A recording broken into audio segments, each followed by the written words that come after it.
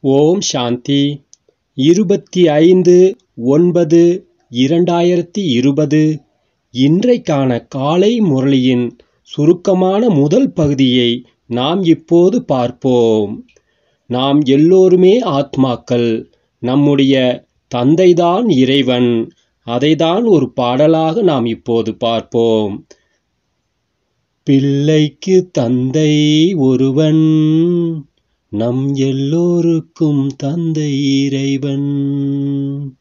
நீ ஒருவனை நம்பி வந்தாயோ? இல்லை இறைவனை நம்பி வந்தாயோ?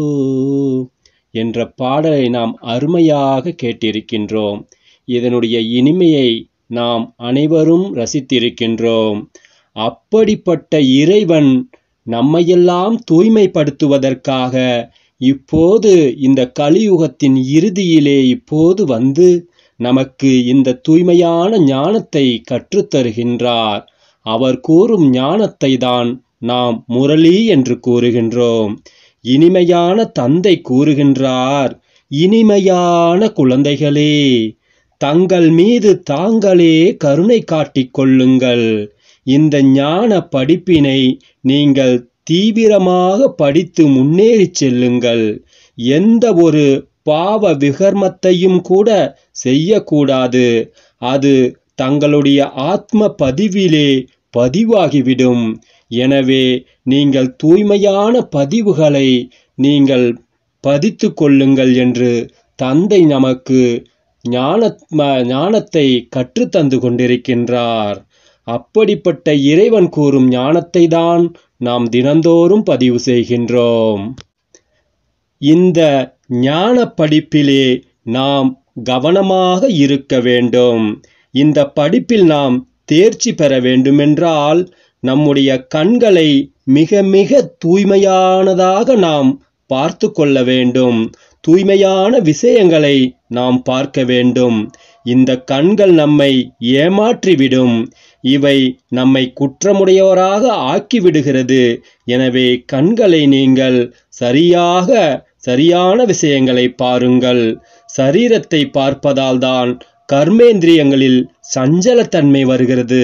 எனவே ஒவ்வொருவரையும் நீங்கள் ஆத்ம சகோதர உறவுகளாக பார்த்து அனைவரும் இந்த உலக நாடக மேடையிலே நடித்து கொண்டிருக்கின்றோம் என்பதை புரிந்து கொண்டு இந்த நடிப்பை நீங்கள் அழகாகவும் தூய்மையாகவும் நடித்து தூய்மையான குணங்களை கற்றுக்கொண்டு இந்த நினைவு யாத்திரை மூலமாக முழுமையான கவனத்தை கொடுங்கள். இறைவனுடைய நினைவிலே எப்போதும் இருங்கள். ஒருவர் நோயுற்று இருக்கும்போது அவரிடம் நாம் கொஞ்சம் பொறுத்து கொள்ளுங்கள்.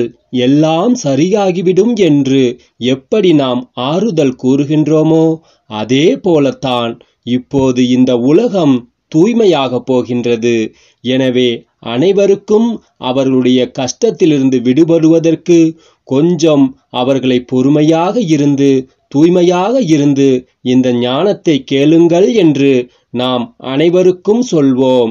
அனைவரையும் எந்த கஷ்டம் வந்தாலும் நாம் அனைவருமே இறைவனுடைய நினைவிலிருந்து இந்த கஷ்டத்தையெல்லாம் இந்த கலியுக இறுதியிலே நாம் பொறுத்து கொள்ள வேண்டும்.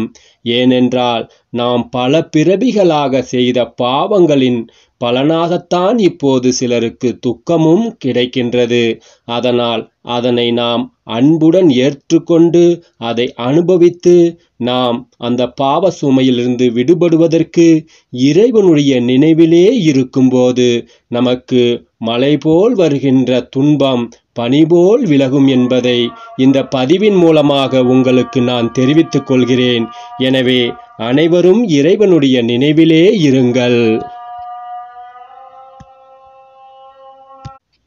ஓம் சாந்தி.